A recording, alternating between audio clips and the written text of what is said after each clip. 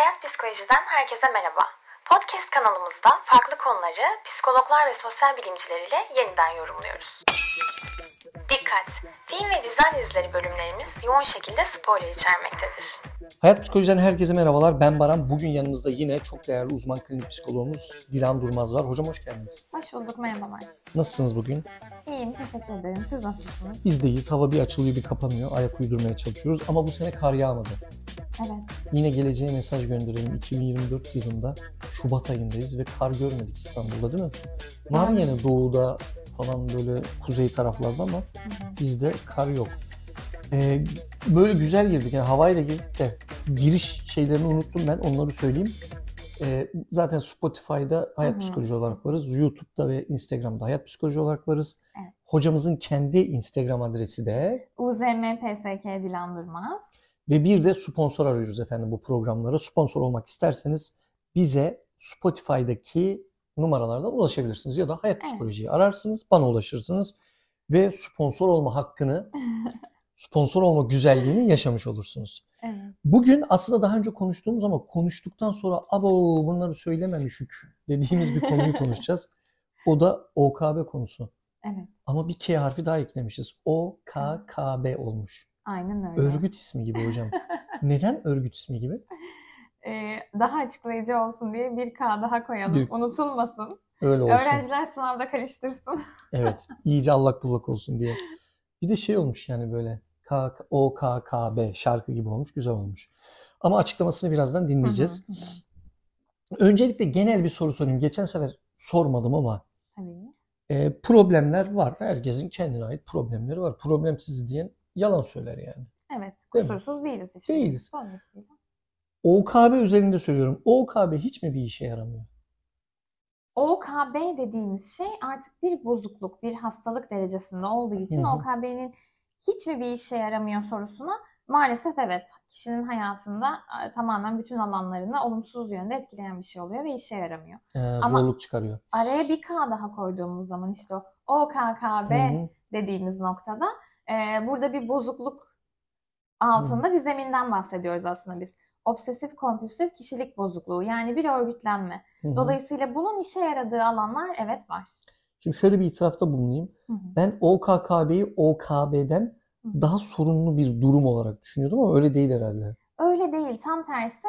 Bu karıştırılıyor çünkü kişilik bozukluğu diye bittiği için ve kişilik Hı hı. bozuklukları genelde daha ağır vakaları temsil ettiği için hatta en çözümü daha uzun meşakkatli olan şeyleri temsil ettiği için OKKB deyince de aslında OKB'den daha kötü bir tablodan bahsediyoruz gibi ya da daha ağır bir tablodan Öyle değil mi? bahsediyoruz gibi. Öyle değil tam tersi. Yani önce OKKB Hı hı. yani bir kişilik örüntüsü var böyle obsesif semptomlar var, belirtiler var Hı ya da kompulsif bazı davranışlar var. Ee, Hı hı. Kişi bununla ilgili kendi hayatını bir örgüt, bir düzene bağlamış gibi düşünebiliriz. Hı. Ama bu da artık gitgide kişinin bütün hayatını olumsuz etkilemeye başladık, başladıkça, tüm alanlar işgal edildikçe Hı hı. artık OKB denen başlı başına büyük bir hastalıktan, bozukluktan bahsediyoruz. O K harfi düşüyor ilerleyen zamanlarda diyorsunuz. Aynen Tek öyle. şeyde. O da tutunamıyor gibi ve kişinin hayatını çok zorlaştıran bir hal. O zaman OKKB bir işe yarar mı diyeyim?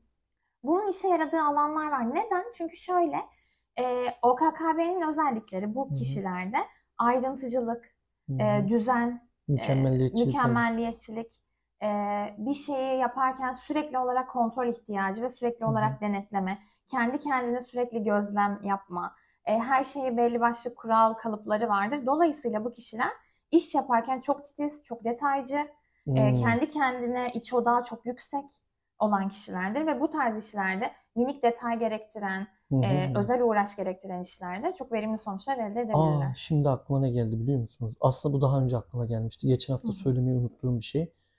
Mesela biz web sayfası falan dizayn ediyoruz ya. Hı hı. Benim sanırım OKKB olan bir arkadaşım birlikte yapıyorduk. Öyle detaylara bakıyordu ki. Yani bütün sayfaları tek tek okuyor. Hı hı. Virgülüne bak. Mesela şöyle detayları söylediğini hatırlıyorum. Ben de tabii dil bilgim çok kötü değil. Hani iyiyimdir o konuda ki ben de dergi editörlüğü vesaire yaptım. O mesela web sayfasında bir cümlede virgül varsa o virgülün biliyorsunuz kelimeye yapışık olması gerekiyor. Biten Hı hı. kelimeye. Evet. Sonra bir Sonra boşluk boş. gerekiyor. O detaylara kadar ve bu hani web sayfası da biliyorsunuz bir sürü sayfa var, şey var. Hı hı. Detaylı detaylı bakıp ekran görüntülerini alıp onları böyle yeşil halkalarla böyle WhatsApp'ın şeyi var ya çizip bak burada bir tane virgül kelimeye yapışık olmamış. Onu öyle yapalım diye. Hı hı. Tabi bu en ufak detaylardan bir tanesi. Hı hı. Bana bu bilgileri gönderiyordu. Evet.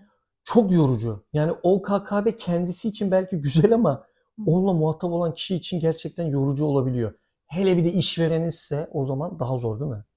İşverense zor, grup çalışması yapılan, ekipçe Hı. çalışılan işlerde bir arada olmak, o gruba ayak uydurma noktasında esneklik gerekir çünkü. Yani herkese alan açmak, ufak şeyleri tolere edebilmek o alanlarda çalışanlar için zor. Bir öğrenciyseniz, bir öğretmeninizde bu belirtiler varsa e, Zorlanabilirsiniz. Zor, tabii ki. E, ama şöyle en nihayetinde işe yönelik e, Olumlu sonuç, mi? ayrıntılı, e, kurallara çok uygun oldukları için güzel şey performanslar da verirler bu kişiler. Ya evet mesela e, nedense bana hep öyle arkadaşlar denk gelmiş. Bir arkadaşım daha Hı hı. sosyal medya işi yaptığımız bir arkadaşım daha yani bir paylaşım yapacakken hani ben biliyorsunuz daha hareketli bir insanım. Böyle bir şey paylaşacaksam hemen resmi yapar böyle şeyleri zırt diye paylaşırım ama o böyle 50 kere şu rengimi kullansak bu rengimi kullansak yazıyı biraz sağa çeksek ya burada bu kelimeyi kullanmışız ama bu kelime acaba şuna karşılık gelir mi? Hı hı. Açıklamaya bunu yazdık. Bunu yaparken böyle yapmalı mıyız? Paylaştıktan sonra etiket şu işe yarar mı? Etiketleri koyuyoruz ya. Etiketleri koymadan önce o etiketleri Instagram'da bir yazalım bakalım. O etiketlere karşılık ne? Allah'ım Allah'ım Allah'ım neler neler. Gerçekten hani burnundan getirir dediğim şey Hı. ama dediğiniz doğru çok da bir şeyler öğreniyor insan o süreçte. Kesinlikle öyle. Siz konuşurken de ben şey duyuyorum. Kaygı, kaygı, kaygı, Bende kaygı. mi? Ya, hani, Tabii tabii kaygılandırıyorlar. e, yani hem karşısındaki kişi hem de kendisinde şu an alt metninde Hı. yoğun bir kaygı var. Ya o etiket doğru olmazsa, ya o virgül doğru yerinde durmazsa, ya Evet. işi ge- gerektiği zamanda gerektiği şekilde yapamazsam, ya bir ayrıntı gözden kaçtıysa. Ya aslında hı. günlük hayatta bunlar tabii ki de çok önemli şeyler. iş hayatında, okul hayatında vesaire Hı hı. ama e, kaçabilir. Hepimiz insanız olabilir. Kimimiz bunu iki kere kontrol eder ilerlerken. Bu kişiler e, defalarca işte kendine... Abi bir de buluyorlar. Yani ben mesela o tür bir çalışma ortamında ben de tekrar tekrar bakıyorum. Hı hı. O diyorum bu sefer süper oldu. Atıyorsun dosyayı. Şılak diye ekran görüntüsü geri geliyor. Gene o yeşil fosforlu renge çiziyor böyle. Hı hı. Diyor ki burası yanlış. Şimdi şöyle işte işin diğer tarafı Hı hı. da işe yaradığı kısımlar tabii ki var ama çok zor bir şeyden de bahsediyoruz bir yanıyla. İnanılmaz bir zaman yönetimi lazım. Yani gece geç saatlere kadar projelerin başında kalmak, ders çalışmak, o tez yazımları, süreçleri Hı hı. bu tarz kişiler için ya da işte bir siz bahsettiniz bir web sitesi tasarlıyorsunuz. Evet. Sürekli sürekli başkalarının yaptığı şeyleri de kontrol etme, işin her alanında olma isteği kendi zamanını yönetemeyeceği bir noktaya Hmm. gelebilir. Veya bizim terapiye sıklıkla başvuru nedenlerinden biri de şu oluyor, terapide gördüğümüz. e, erteleme hali. Yani kişi iyi olmayacak diye He, sonra yapayım, daha Öyle sonra olsun, şöyle böyle derken bir erteleme hali. Hı hı. Veya çok yoğun kararsızlık. Ben hiçbir şeye karar veremiyorum. Öyle yaparsam böyle olur, böyle yaparsam şöyle olur Hı hı. ve hayatta karar vermekte çok zorlanıyorum gibi nedenler yüzünden terapiye en sık başvurular. Yani zaman yönetimi, erteleme ve kararsızlık.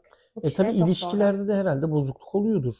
Tabii ki biraz böyle iş hayatından girince orası da kalmış gibi oldu ama yine iş hayatındaki ilişkileri de Tabii etkileyecek. canım orayı da etkiler. E, Dediğim gibi o grup çalışması, ekip yönetimi, bir proje yapılırken bir sürü kişiden geçiyor. O süreçteki ilişkileriniz vesaire hepsi etkileneceği gibi kendi yakın ilişkilerinde de e, bu tarz davranacaktır. Yani belirli katı Hı. kuralları olacaktır.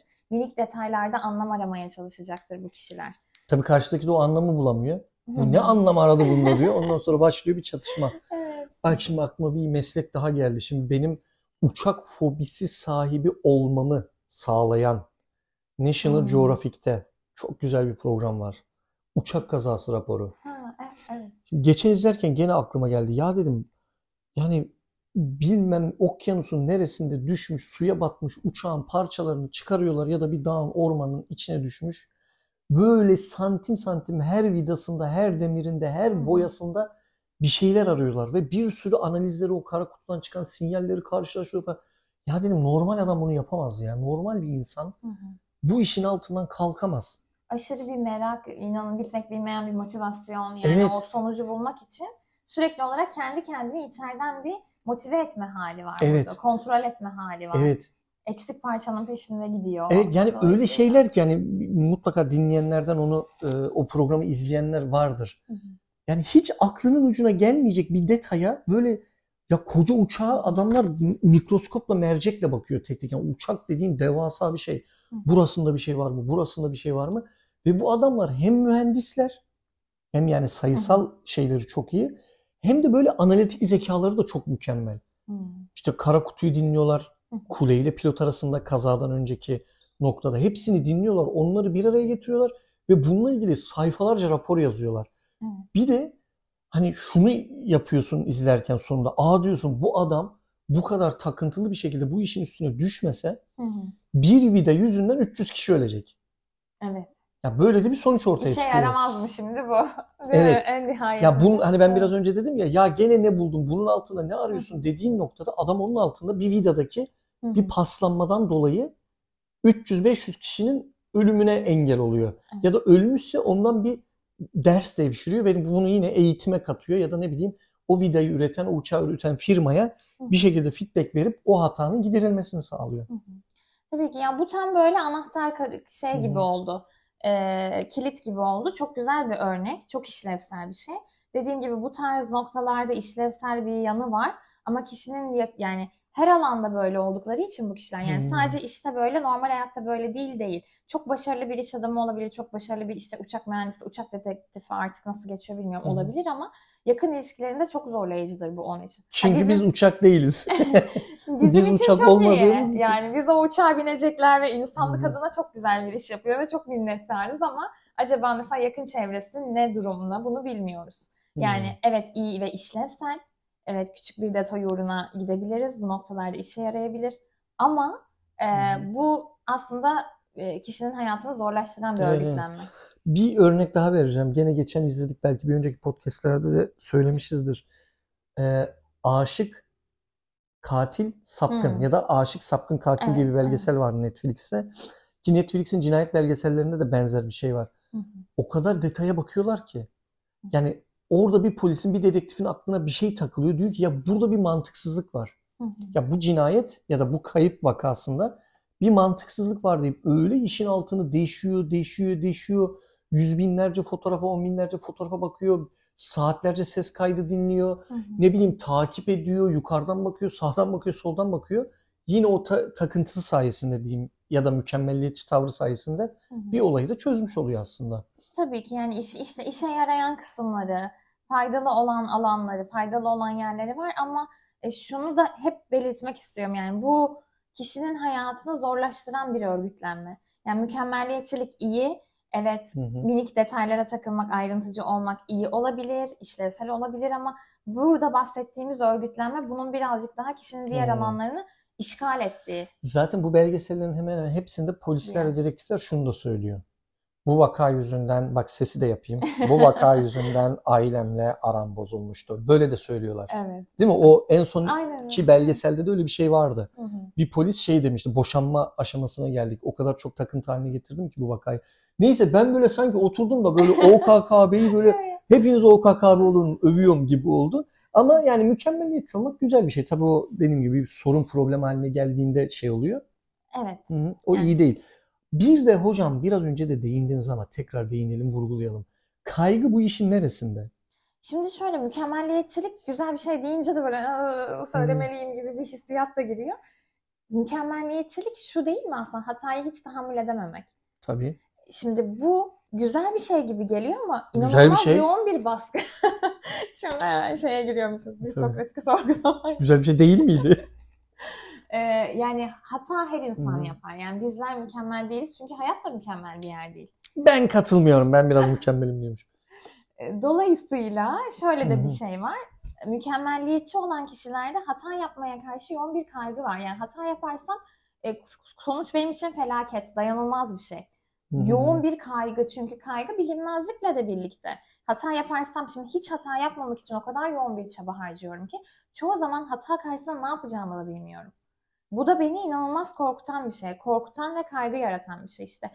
Hata yapmış olmanın, Hmm. yanlış yapmış olmanın getireceği kaygıyla baş edemeyeceğim için ya yanlış yaparsam kaygısıyla baş edemeyeceğim için kendime hiç hata yapma şansı tanımıyorum. Ya da o işi yapmıyorum komple.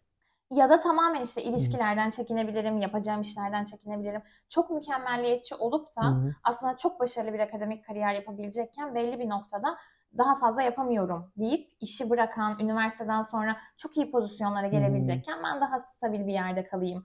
Çünkü daha robotik bir iş olsun Evet. deyip e, kendi potansiyelinin altında işlere yerleşen çok mükemmelliyetçi. Yani e, dolayısıyla tablo var. kaygılı. Evet. Dolayısıyla çok kaygılı. Hı hı. Ki şimdi siz deyince hatırladım. Bu tür arkadaşlarla çalışırken şuna çok rastlıyordum. O bana göre ufak olan bir hatayla karşılaştıkları zaman inanılmaz tepki veriyorlardı. Evet. Böyle bir şey nasıl olabilir falan gibi hı. çok yüksek sesle çok şu ya ben de o ara ya bende mi problem var acaba Allah Allah virgül yani orada olamaz mı yani tab hani klavyeye elin dokunmuştur ne bileyim kedi geçmiştir bir şey olmuştur Hı hı. vesaire gibi falan düşünüyor ama onlardaki tepki çok çok yüksek. E, bu kadar e, olasılığın bir anda gittiği bir dünyada yani hiçbir şeyin belirli olmadığı, geleceğe dair hiçbir şey bilmediğimiz bir dünyada da kendine hiç alan açmamak ve bunun o kadar onlar için felaket olması kişi yaşayan kişi için korkunç bir durum aslında. Kesinlikle. Tabii yine ben niyeyse kendim hep örnek olarak koydum da bu ilişkilerde şey de vardı yani kendi hatırladım. Bu arada ben etiketledim onları direkt. Sen siz böyle anladın da dedim onlar herhalde o Evet. kanka etiketlemiyoruz tabii de o mükemmelliyetçilerden örnek veriyorum. Hı hı. Ya karşıdakinin üzülüp üzülmediğine de çok bakmıyor. Yani sen orada ya ne oldu abi falan filan diyorsun. Hı hı. Üzülüyorsun ama bu onu çok ilgilendirmiyor gibi de geliyordu bana.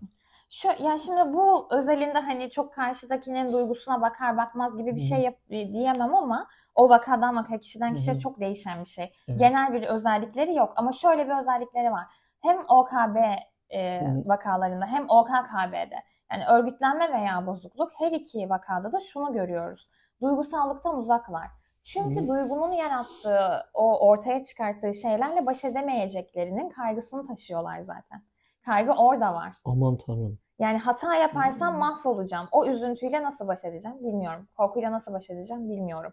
İşte başıma kötü bir şey geldi. Bir kayıpla, çaresizlikle, yetersizlikle ya beni sevmezselerle baş etmemek için daha katı kuralların altında tamamen bir yalıtmayla yani daha çok böyle rasyonel bakıyorum, gerçekçi bakıyorum. Hataya Hmm. alan yok, duyguya alan yok, romantizme alan yok benim Hmm. için Hep rasyonellik. daha rasyonel, daha katı, daha gerçekçi ve duygudan hep uzaklaştırıyor. Ama duyguyla iletişimimiz koptuğu anda o duygu tamamlanmak için sürekli bir çıkış bekleyecek. Gerek ani öfke patlamaları gibi, gerek kendince gitgide çok hissizleştim Hmm. gibi ya da hayattan Cilt hastalıkları keyif alamıyorum, psikosomatik hastalıklar. falan Ee, filan. yani çünkü beden bir noktada siz dilde e, ifade etmediğinizde beden onu ifade etmek için her türlü yolu deneyecektir. Neydi? Sizin çok sevdiğiniz kitaplar vardı böyle bedenle ilgili.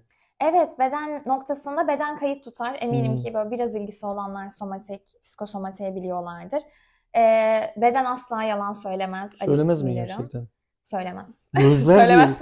Hayır gözler yalan Çok net söylemez. söyledim. Biz psikologlar net konuşamıyoruz. Buradan beni dinleyenlere bunu Evet. söylemek istiyorum. Hayır, gözler yalan söylemez de beden komple mi söylemiyor?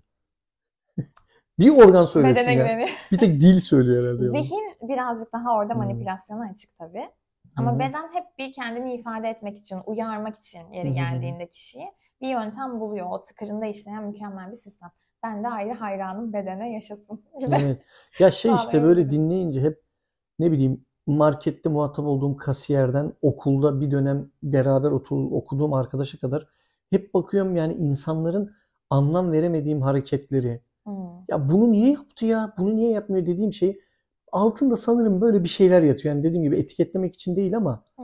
ya insanların kendilerine ait farklı farklı sorunları olabiliyor. Hı. Dediğim gibi o zamanlar hiç anlam veremediğim şeyler belki değildir. Yanlış bir tespit yapıyorum. Aa belki de bundandı diyebileceğim bir noktaya geliyor dinleyicikte de. Ya böyle bir kapı açıyoruz en azından. Hı hı. Hani arkasında gerçekten farklı bir durumda olabilir. Kötü bir insan da olabilir. Bunu Evet. bilmiyoruz. Saygısız ve kötü biri de olabilir. Veya gerçekten arkada baş etmeye çalıştığı belli başlı şeyler de olabilir. Sorunlar da olabilir. Bilmiyorum. Kendime düşen payıyla ilgilenip ya bu ihtimal de var deyip hoşgörülü olmak benim Hı hı. için daha kabul edilebilir bir karakter tarzı deyip ona göre hareket edebiliriz. Evet. Ya işte her ben podcast'te söylemeye çalışıyorum da ya psikoloğa gidilmeli. Yani hı. Çözüyorsun bir şeyleri ve kocaman bir alan açıyorsun kendine. Ya da bir yaşam süresi işte 70 sene yaşayacaksın.